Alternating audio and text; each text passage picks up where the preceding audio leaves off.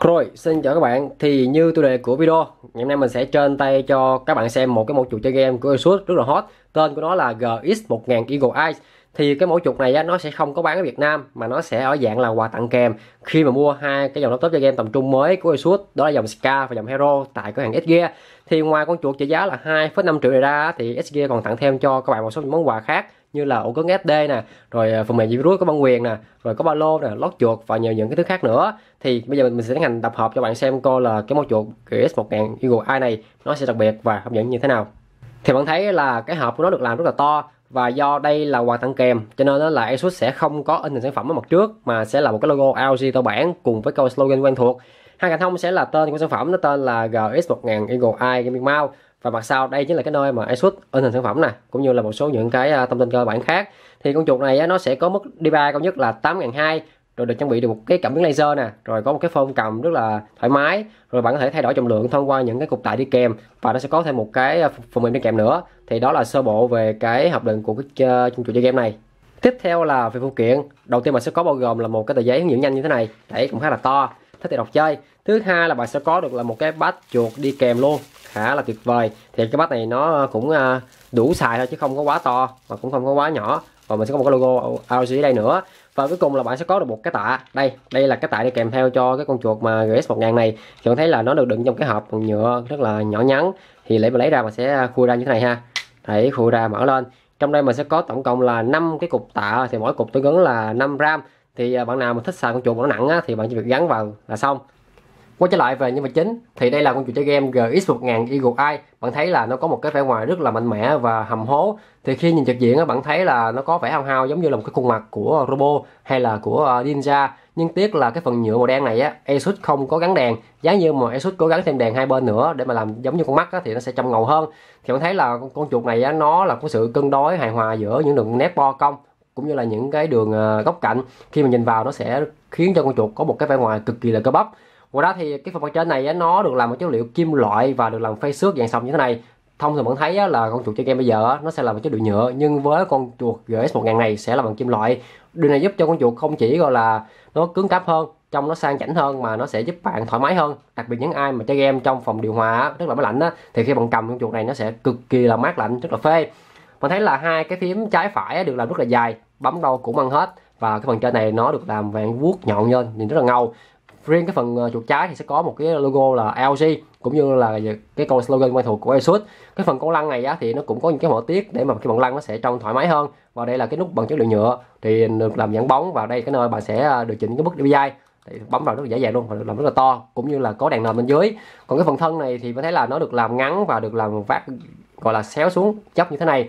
Đây là cái phần cạnh trái con chuột bạn thấy là nó sẽ có thêm hai cái nút ờ, bấm chức năng nữa và thêm một cái nút nhỏ ở đây. Còn cái phần này được làm chất liệu gọi là nhựa sân và sẽ có một cái phần nhô ra như thế này. Thì đây cái nơi mà Asus có gắn đèn để biết được là bạn xài cái ờ, profile nào. Hai bên cũng vậy ha. Thì cái phần bên phải thì sẽ không có cái ờ, phím cấm chức năng chỉ bên trái mà thôi.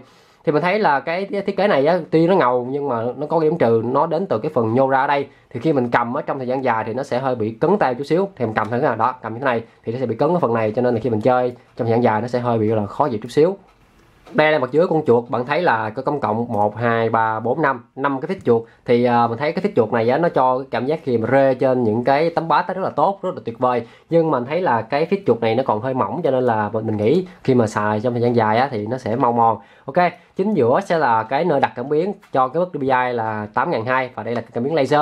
Coi ở đây sẽ có một cái nút bấm nhỏ nhỏ để mà chuyển qua lại giữa các profile. Còn cái phần mà hình uh, nọc như đây á, thì khi mình nhấn vào như thế này đó nó sẽ bung lên đây là cái nơi bạn sẽ gắn những cái tạ đi kèm vào.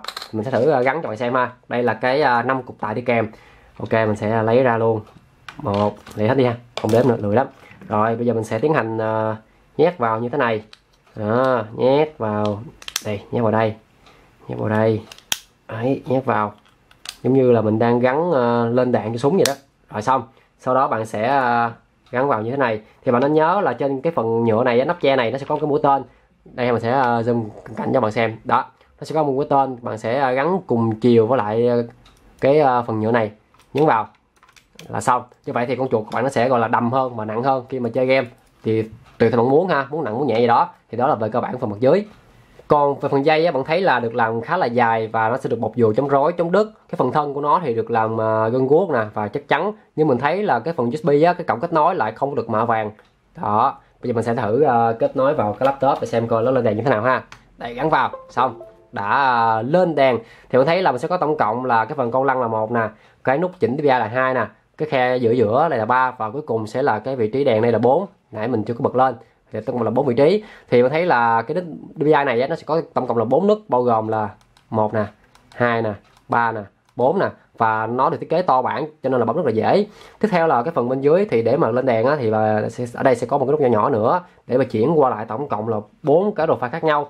Đây là cái đồ file một khi nhấn vào nó sẽ là đồ file 2 rồi file 3 là xanh lá và cuối cùng là màu cam là đồ file thứ tư để bạn có thể ờ, phân biệt được đâu là cái đồ file nào. Ok thì ngoài con chuột này ra thì ờ, Asus còn có trang bị thêm một cái công cụ đi kèm theo cho con chuột này nữa. Mình thấy là cái giao diện của cái phần mềm này á nó ờ, hơi bị ờ, cùi cùi xíu. Cái như mình nghĩ nó vậy ha tại vì nó còn hơi rối.